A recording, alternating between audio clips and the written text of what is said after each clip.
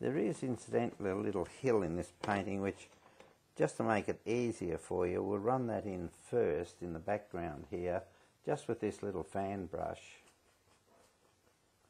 Run it away here.